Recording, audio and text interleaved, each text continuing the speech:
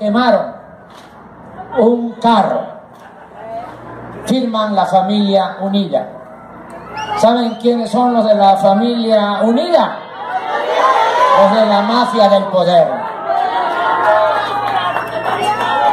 Y desde a Colman les decimos que nos tienen miedo porque no tenemos miedo. Sus videos, todas esas porquerías que hacen y que fraguan, traman desde los pinos, porque el jefe de la mafia del poder es Peña Nieto, el jefe de la familia unida